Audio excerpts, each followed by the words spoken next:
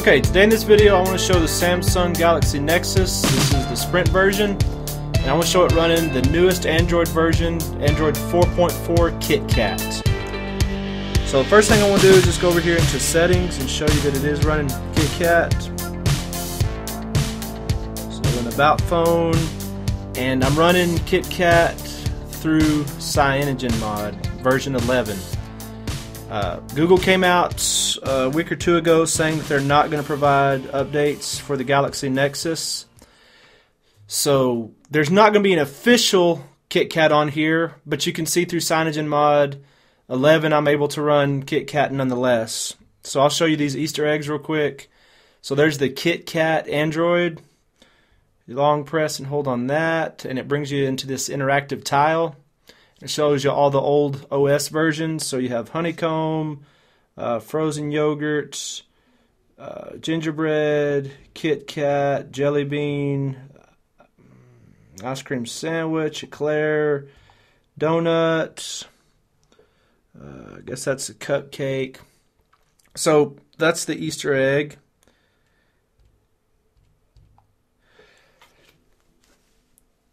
If you're in your home screen, you can slide over.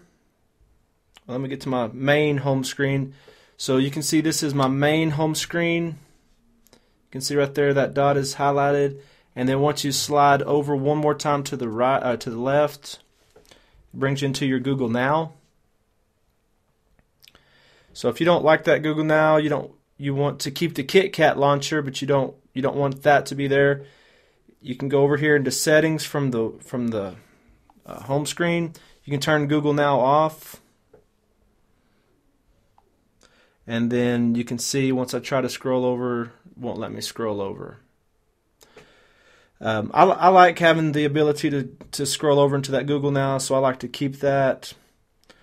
Of course, if if you want to uh, if you want to still have your Google Now and not have to have it there. You could always just put on a third party launcher like getting uh, Nova or Apex or whatever from, from the Play Store.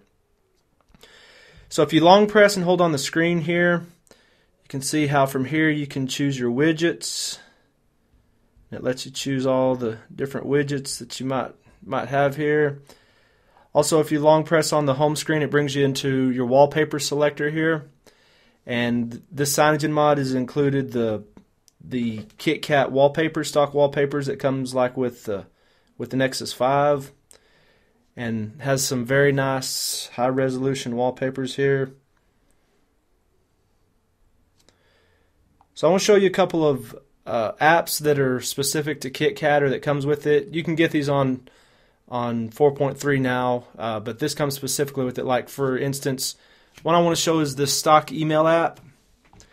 In the stock email app, now it it works just like the Gmail app, and this is my Exchange email from work, and I can take uh, this at this email, slide it, and it's deleted, and uh, so this works and looks just like just like the Gmail. You can see here how it has the letters of the first name, first letter of the first name of the person that sends it to you.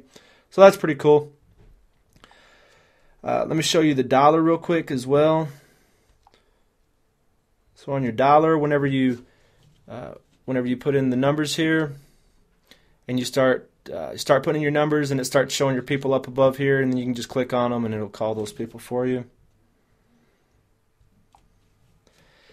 Uh, so I just wanted to show that KitKat can run on the Galaxy Nexus. It's running pretty smooth. This is a very early build, so it's not perfect yet. There's a few things that aren't exactly right, but it's it's running pretty smoothly uh, at this point for being such an early build.